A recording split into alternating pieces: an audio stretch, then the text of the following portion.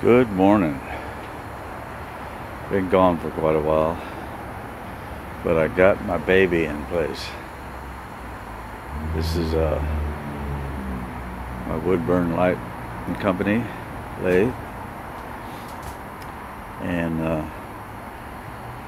first of all, here in sunny California, it's been cold, and I want to introduce you to my friend. Mr. Heater. It's about 42 this morning. A little bit of a breeze. Feels like down into 38, and and uh, that's cold here. Here in sunny California. I'm in Northern California, but it's still cold. It's cold here. But I got my my baby placed. Now this is a pre-Civil War and and it was before a lot of features were uh, invented. Apparently, I made some feet here because apparently they they didn't uh, drill holes in the feet to mount them down, and and since this uh, particular piece right here is so old, I I'm not drilling any holes in. I don't want to change anything. This is uh, this was cast I want to say, I'd like to say 1848. The, the reason for that is that would make it 100 years old. When I was born, uh, the company was in business from, I think, 45, 46 to about 1845 to 1851. And there's a lot of, of, of uh, characteristics of this lathe that it's really strange, but uh, they became obsolete around 1851. Thayer and Houghton came out with a, a new modern lathe that uh, obsoleted a lot of uh, issues on this particular lathe. First, first of all, this is a chain lathe, which actually uses a chain. Looks like a bicycle chain, but it isn't because this is uh, way before the bicycle would have been invented. But it also has uh, some other features, which are antique, obsolete. This right here is called a rise and fall because the the cutter, if I can get this right here. Now, this is these this is all the stuff that I got with it, and uh, this cutter I don't think was made uh, pre-Civil War because this is a um, thread cutting cutter. And but it but it was when the pile of stuff that I got with with this lathe which I was really lucky that it had really a lot of uh, parts that came with it. There's a few pieces missing but most of them are here. This right here is a rise and fall. You can see I'm not doing very good, but you can see that the actual slide where the tool is hooked to goes up and down, and that's called a rise and fall, which was uh, invented by uh, a gentleman called James Brown in, I believe it was 1819, uh, Worcester, Massachusetts, which which this particular lathe was manufactured in Worcester. Uh, and also, it, this was uh, manufactured before they had, uh, or, or, at least before they were instituted onto uh, machinery, uh, dovetails, like they have, the modern lathes have dovetails with uh, gib keys and, and things to hold the slide rest to the the bed of the bathe of the of the lathe. Excuse me. Now you can see the uh, the diamonds which which the slide rest rides on and of course the uh, this is the tailstock it, the inside which uh, really harkens back all the way to uh, Henry uh, what's his name that British guy that invented the slide rest? You know and uh, he just uh, took square bar and turned them up on their edge. And so this one is thinner than a modern lathe, which probably is, uh, you know, uh, would wear out faster. But uh, what I wanted to show you was this other archaic feature, characteristic of this little buddy, little baby, and this right here is the weight. This, because I was talking about the, the uh, this is what I believe that it was before they had the uh, the dovetails with the gib keys to hold the uh, slide rest down. And what they did was put a, a hook from the slide rest down to a weight. I just put that weight on here. I'm just getting this, I finally got this all set up here. And uh, I think this is just so cool. Uh, that I got the weight with it, the rise and fall, I got the tailstock, even the uh, uh, follow rest, steady rest here. It's not a follow rest.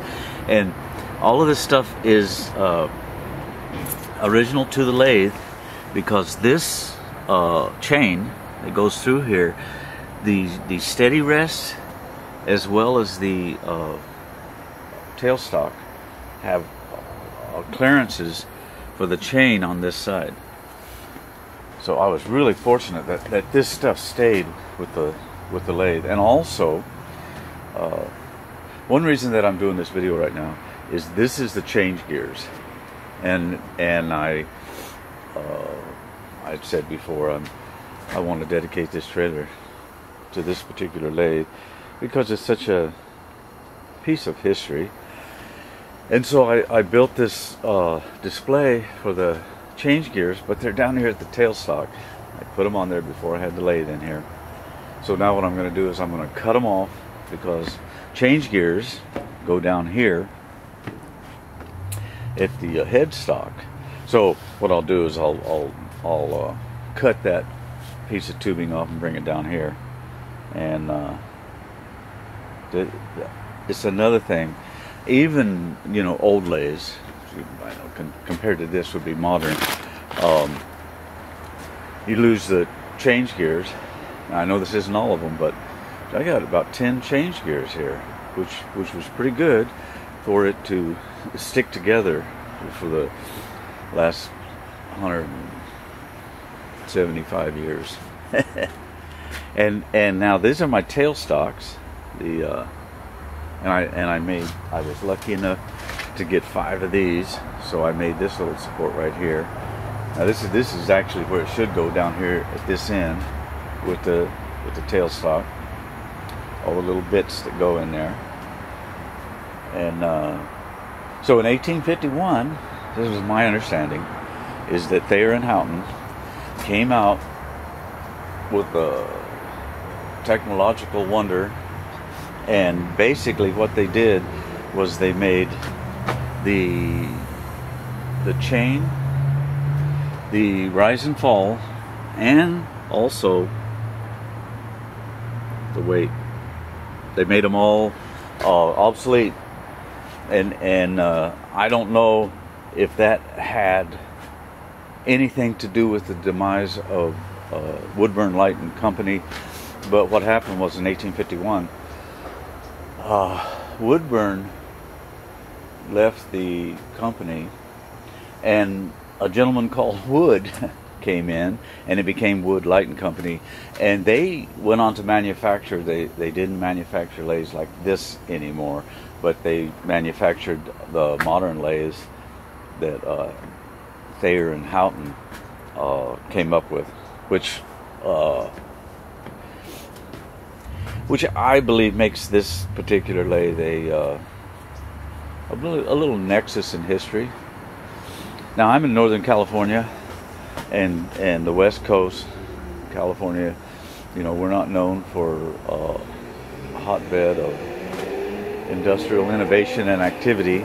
At least back uh, in the first uh, three or four decades of the uh, Industrial Revolution, which actually took place on the East Coast and uh, the Silicon Valley of those days would have been Worcester, Massachusetts, where this lathe was manufactured.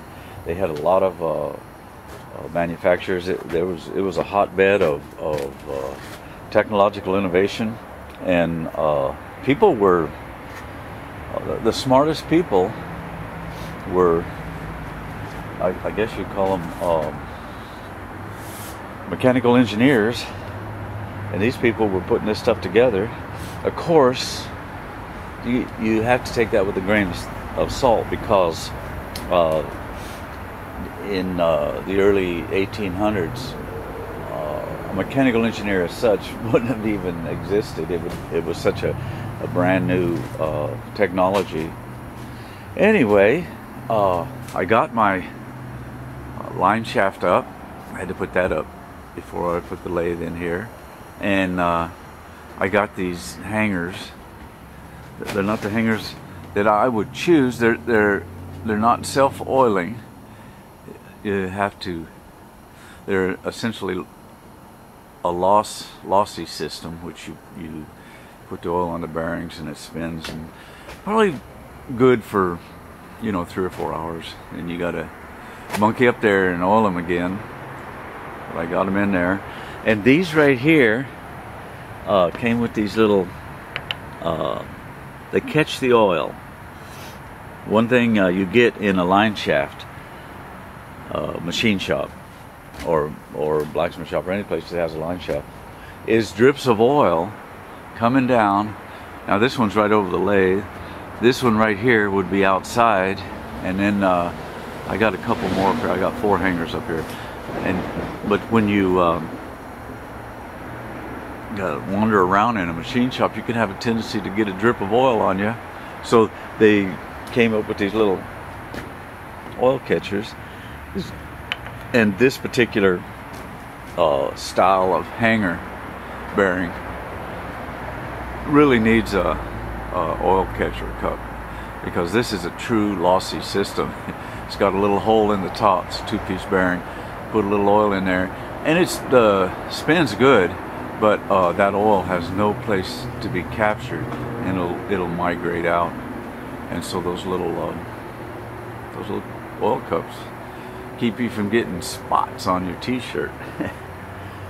Anyway I wanted to uh, show a couple things. The reason I wanted to show this is this is going away. And uh, once I cut it off and reposition it because it really should be where it belongs. It doesn't belong here we'll um, I never see it again so this is like a documentation anyway, I just wanted to share my beautiful old lathe with you guys. Uh, I'm don't really. I'm learning about. I'm a, I'm a student of history, and you know, being a student of history is one thing. Reading books and watching videos, but it's really cool to have this stuff and and uh, and this one I'm not going to do a restoration on it. It's I think it's uh, too uh, valuable of a piece of history. It's going to stay the way it is. I mean, I'll clean it up. The I'm sure this paint isn't original. Uh, somebody painted it green, but it's possibly that it was green uh, before they they painted it. and They just painted it green again, and you know all these pieces are all cast iron uh, which this uh, these legs back here and the the dog leg support the whole thing is all cast iron. Uh, I'm not sure when uh, mild steel was invented. I think it was probably invented before this this lathe was was manufactured but uh, I don't think the Siemens and the and some of the blast furnace had been invented yet, and and so uh, steel uh, or mild steel wasn't really available, uh, except uh, you know it's very expensive. Like like in this case, they would they would have uh, cutting tools, which of course this one isn't uh, isn't original. I don't know if I got some. Let me see. I'm still working to organize. These are just holders.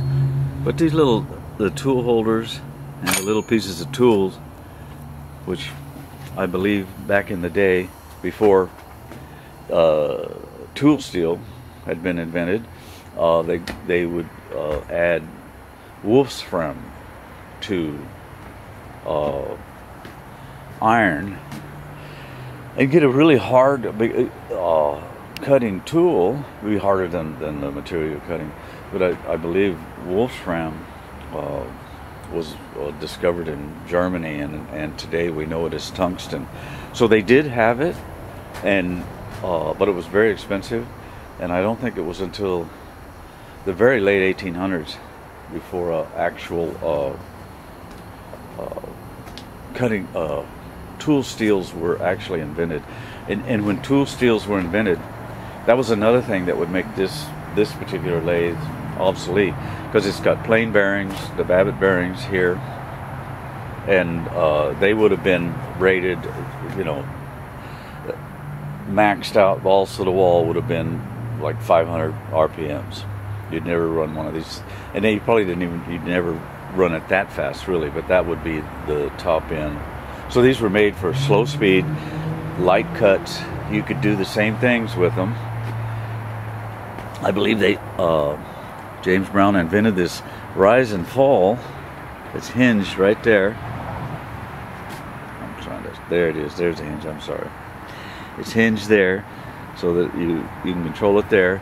And what that was for was uh, when you bring the actual cutting tool up to your piece to cut, you could fine tune where that little point was meeting, so you could you could catch it right in the um, a sweet spot when you when you're turning a piece of metal. And, and a lot of the reason for that was that tool steel did not exist, and a lot of your cutting tools, it's possible they could have been uh, case hardened and and uh, just a little bit harder than what you were cutting. So uh, these people were smart, and they they uh, they figured stuff out. And uh, I'm gonna let it go at that. Thanks for watching. We'll talk to you later. Bye.